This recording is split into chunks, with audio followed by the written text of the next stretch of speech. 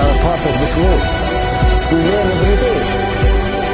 Where there is no challenge, everybody is a leader.